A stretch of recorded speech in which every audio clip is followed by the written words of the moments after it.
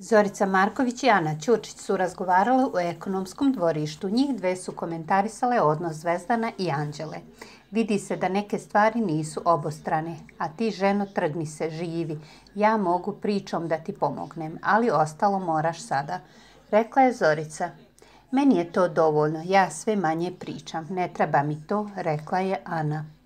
Tako i treba, samo pravo napred. Oni su se ukanalili pa su se ukanalili. Mića nekog usmerava da bude ono što nije, ali neka bude ono što jeste. Rekla je Zorica. Pa da, Zvezdanu je bitno Mićino mišljenje, rekla je Ana. Tačno. On je namjerno stavio Anđelu za omiljenu da bi joj davao savete, rekla je Zorica.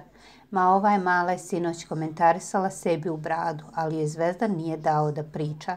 Dodala je Ana. Nije ona bitna, nego je to komentarisanje. Za mene, Bilala, oni od juče od jedne reči prave haos, dodala je Zorica.